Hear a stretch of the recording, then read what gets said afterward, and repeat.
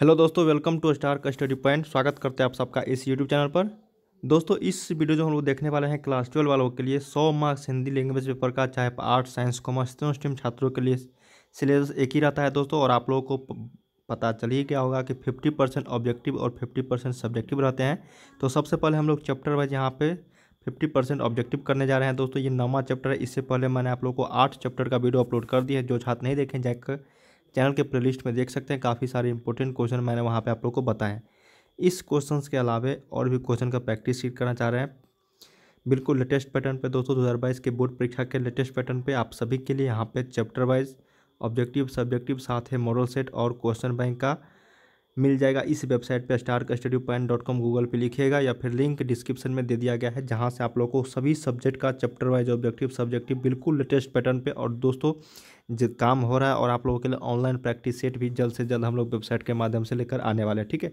तो आप लोगों के लिए बस एक रिक्वेस्ट है, वीडियो को शेयर ज़रूर कीजिएगा दोस्तों, ठीक है? और चैनल को सब्सक्राइब कर लीजिएगा आगे के वीडियो को पाने के लिए और नोटिफिकेशन बेल को ऑल नोटिफिकेशन सेलेक्ट कर लीजिए। इस चैनल की ओर से आप लोग को हर सब्जेक्ट का यहाँ पे साइंस स्ट्रीम छात्रों के लिए दोस्तों ठीक है? वीडियोज़ अपलोड होते रहेगा लगातार, ठीक है? तो चलिए हम लोग जानते हैं दोस्तों यहाँ पे नौवा चैप्टर परगीत और समाज, जिनके लेखक है यहाँ पे नामबर सिंह। सबसे पहले हम लोग नामबर सिंह के बारे में जीवन परिचय जानते हैं। नामबर सिंह कौन थे, कहाँ जन्म हुआ था, कब हुआ था दोस्तों, ठीक है? इनके माता पिताजी के नाम और क्या क्या ये यहाँ पे तो आप लोग भी पढ़ सकते हो दोस्तों मेरे साथ, ठीक है? तो चलिए हम लोग जानते हैं जीवन परिचय नामवर सिंह के बारे में, परगीत और समाज के लेखक है।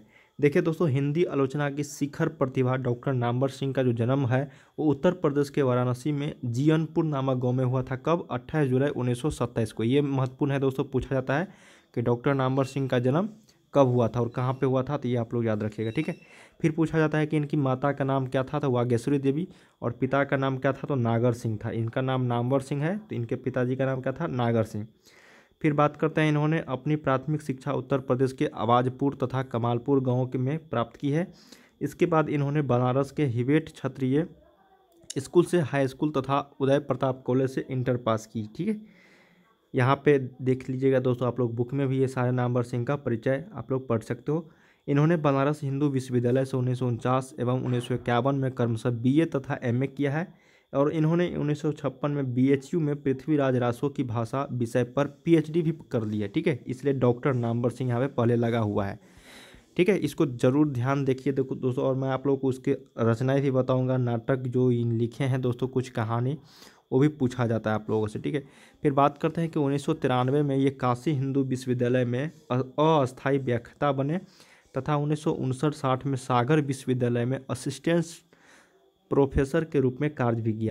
हेलो बच्चों, पढ़ाई में डॉट्स आते हैं। घबराइए मत, सबका सोल्यूशन है डॉट नेट। अगर आप किसी भी सवाल में अटक गए हो या आपसे सॉल्व नहीं हो पा रहा है, बस आपको उस क्वेश्चन का फ़ोटो लेना है, उस क्वेश्चन को क्रॉप करना है और पाँच सेकंड के अंदर आपको उस क्वेश्चन का वीडियो सोल्यूशन मिल जाएगा। फिर चाहे आपका क्वेश्चन होमवर्क का हो सीबीएसई का हो यूपी महाराष्ट्र राजस्थान एमपी या फिर किसी भी बोर्ड का हो चाहे आई टी जेई नीट या छठी से बारहवीं का क्वेश्चन हो, इसका जवाब मिलेगा डॉट नेट ऐप पर। या फिर कोई भी सब्जेक्ट हो फिजिक्स केमिस्ट्री मैथ साइंस आपके सभी सवालों का जवाब मिलेगा डॉट नेट पर। साथ ही अब डॉट नेट ऐप पर पढ़िए कोटा के बेस्ट फैकल्टी से, जैसे GV sir N S sir, Akanksha ma'am, Prince sir जैसे टॉप टीचर से। यानी अब पूरी पढ़ाई होगी डॉट नेट ऐप पर। तीन करोड़ से ज़्यादा बच्चे डॉट नेट ऐप पर पढ़ाई कर रहे हैं तो आप भी जाइए और डाउनलोड कीजिए डॉट नेट ये दिल्ली में जनयुग साप्ताहिक के संपादक पूछा जाता है कि किस साप्ताहिक के संपादक रहे हैं तो जनयुग तथा राजकमल प्रकाशन में साहित्य सलाहकार भी रहे। ये भी पूछा जाता है किस प्रकाशन में? तो ये सब आप लोग याद रखिएगा। और पूछा जाता है दोस्तों, आप लोग को पता भी नहीं चलेगा कहाँ से क्वेश्चन रहते हैं तो यहीं से क्वेश्चन रहते हैं इस तरह के क्वेश्चन ठीक है, बीच से। इन्होंने उन्नीस सौ सड़सठ में त्रैमासिक पत्रिका आलोचना का संपादन किया ये भी पूछा जाता है। और इन्होंने 1970 में जोधपुर विश्वविद्यालय में हिंदी विभाग के अध्यक्ष पद पर प्रोफेसर के रूप में कार्य किया। तत्पश्चात उसके बाद यहाँ पे उन्नीस सौ चौहत्तर में कुछ समय के लिए कन्हैया लाल मणिक लाल मुंशी हिंदी विद्यापीठ आगरा के निदेशक रहे हैं तथा जेएनयू में भारतीय भाषा केंद्र में हिंदी के प्रोफेसर पद पर अपनी सेवाएँ भी दी हैं, ठीक है? थोड़ा लंबा है दोस्तों, ज़रूर इसको आप लोग पढ़िएगा मेरे साथ, ठीक है? उन्नीस सौ सतासी में जेएनयू से सेवा मुक्ति के बाद मतलब ये रिटायर होने के बाद, पुनः पाँच वर्षों के लिए वे वहीं नियुक्त हुए हैं मतलब सेवा मुक्ति के होने के बाद भी उनको पाँच साल दोबारा रखा गया। उन्नीस सौ तिरानवे से उन्नीस सौ छियानवे तक इन्होंने राजा राम मोहन राय लाइब्रेरी फाउंडेशन के अध्यक्ष का कार्यभार संभाला। उन्नीस सौ इकहत्तर में डॉक्टर नामवर सिंह को कविता के नए प्रतिमान पर साहित्य अकादमी पुरस्कार भी प्रदान किया गया। तो ये आप लोग यहाँ पे जीवनी परिचय के बारे में देख सकते हो, ठीक है? बहुत ही इंपॉर्टेंट था। अब बात करते हैं दोस्तों इनके द्वारा कुछ ललित निबंध, व्याख्यान संग्रह साक्षात्कार संग्रह, ये सभी लिखे गए हैं तो ये आप लोग ज़रूर याद रखिएगा।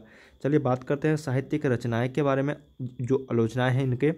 हिंदी के विकास में प्रसम अप्रभंश का योग, छायावाद, आधुनिक साहित्य की प्रवृत्तियाँ, पृथ्वीराज का अशोक, रासो की भाषा, इतिहास और आलोचना। फिर आते हैं यहाँ पे कहानी। कहानी में नई कहानी, ये अलग है दोस्तों यहाँ पे, ठीक है? जैसे ललित निबंध है ना, उसी तरह से यहाँ पे कहानी हेडिंग है, यहाँ पे छूट गया है। कहानी में लिखे हैं नई कहानी दूसरी परंपरा की खोज कविता के नए प्रतिमान वाद विवाद संवाद व्यक्ति व्यंजक। ये सभी क्या है दोस्तों इनकी कहानी है। कुछ ललित निबंध भी लिखे हैं यहाँ पे बकलम खुद ठीक है व्याख्यान संग्रह भी लिखे हैं आलोचक के मुख से साक्षात्कार संग्रह भी रखे हैं कहना न होगा। इसके अलावा इन्होंने अनेक पुस्तकों का भी संपादन किया है।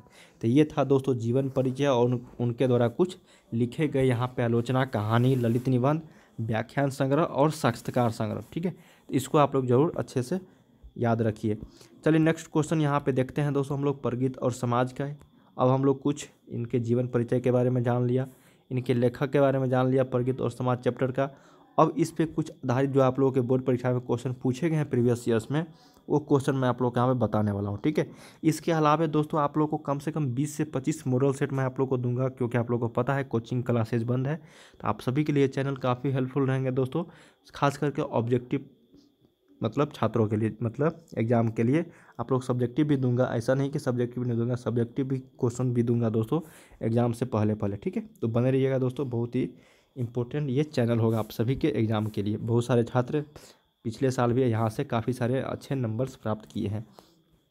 इतना मैं कुछ करवा देता हूँ दोस्तों आप लोगों के लिए।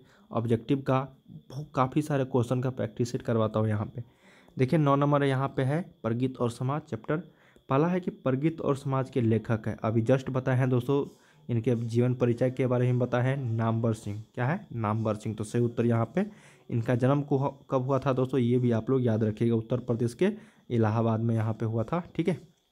तो ये आप लोग याद रखिए सॉरी इलाहाबाद में नहीं, वाराणसी में हुआ था अट्ठाईस जुलाई उन्नीस सौ सत्ताईस ईस्वी को, ठीक है? तो ये आप लोग याद रखिएगा अच्छे से।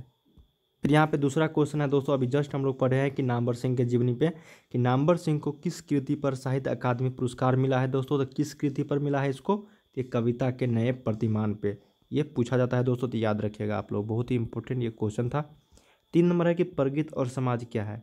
देखिए, अभी निबंध, आलोचना उपन्यास या फिर इनमें से कोई नहीं। तो प्रगीत और समाज जो है दोस्तों एक निबंध है इनके द्वारा लिखा हुआ, ललित सॉरी नाबर सिंह के द्वारा। तो याद रखिएगा, तीन का ऑप्शन नंबर ए यहाँ पे राइट हो जाएगा। चार नंबर ऑप्शन यहाँ पे है क्वेश्चन कि नाम्बर सिंह के गुरु कौन थे? तो ये गुरु मानते थे दोस्तों किन किन को नाम्बर सिंह ये हजारी प्रसाद द्विवेदी, रामचंद्र शुक्ल, महावीर प्रसाद द्विवेदी या फिर आचार्य चतुर्सेन तो ये हजारी प्रसाद द्विवेदी को अपना गुरु मानते थे दोस्तों तो याद रखिएगा यहाँ पे नाम्बर सिंह के गुरु कौन थे? तो हजारी प्रसाद द्विवेदी जी। नेक्स्ट क्वेश्चन देखते हैं कि परगित कैसा काव्य है? तो परगित जो यहाँ पे काव्य है दोस्तों, वो आप लोगों से यहाँ पे पूछा जा सकता है, आत्मपरक काव्य क्या है? आत्मपरक काव्य। तो ये आप लोग याद रखिएगा पाँच का ऑप्शन नंबर सी। चलिए छः नंबर देखते हैं कि नाम्बर सिंह का जन्म कहाँ हुआ था। जस्ट हम लोग पढ़े हैं दोस्तों, जीवनपुर में। कहाँ पे हुआ था? जीवनपुर में। सॉरी जीवनपुर में। जीवनपुर नहीं, जीवनपुर, ठीक है? दोस्तों, यहाँ पे जी भन नहीं होगा, अ होगा, ठीक है? जी अनपुर। अभी जस्ट हम लोग पढ़े हैं जी अनपुर, ठीक है? नामर सिंह का जन्म कहाँ हुआ था? वाराणसी के जी अनपुर में, ठीक है? तो याद रखिएगा। चलिए नेक्स्ट क्वेश्चन देखते हैं। यहाँ पे सात नंबर कि नामवर सिंह किस पत्रिका के संपादक रहे? अभी जस्ट हम लोग पढ़े हैं इनके। जीवन परिचय में कि नामवर सिंह किस पत्रिका के संपादक रहे? तो ये रहे हैं दोस्तों यहाँ पे आलोचना के। किसके आलोचना के? तो सी उत्तर यहाँ पे सात का option number C. Next question आठ नंबर देखते हैं कि परगित परगित आत्मकता का अर्थ आलोचकों की दृष्टि में क्या है? तो प्रगित आत्मकता का अर्थ आलोचकों की दृष्टि में जो है, ये आपका यहाँ पे राइट आंसर हो जाएगा, एकांत गीत। क्या हो जाएगा? एकांत गीत। चलिए नौ नंबर देखते हैं यहाँ पे कि नाम्बर सिंह का ललित निबंध कौन सा है?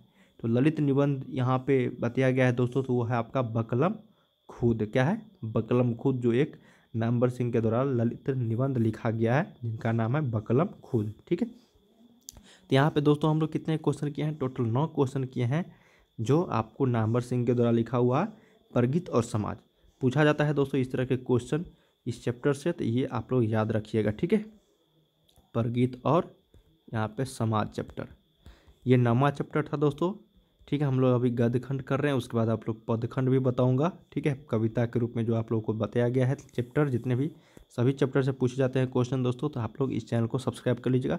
वीडियो पसंद है तो लाइक ज़रूर करना और चैनल को सब्सक्राइब कर लीजिए। आगे की वीडियो को पाने के लिए वीडियो के डिस्क्रिप्शन में लिंक दिया गया है दोस्तों, वेबसाइट का जहाँ से आप लोग को सभी सब्जेक्ट का चैप्टर वाइज ऑब्जेक्टिव सब्जेक्टिव देखने को मिल जाएँगे तो जाके आप लोग प्रैक्टिस सेट कीजिए। मिलते हैं नेक्स्ट वीडियो में, देखते रहिए।